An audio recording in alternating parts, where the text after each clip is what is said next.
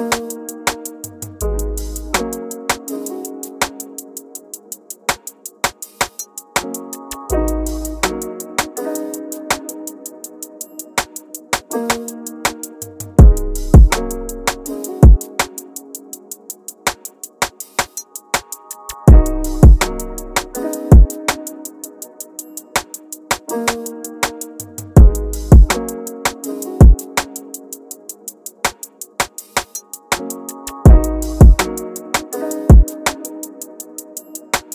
Now then with that drip. Sheesh.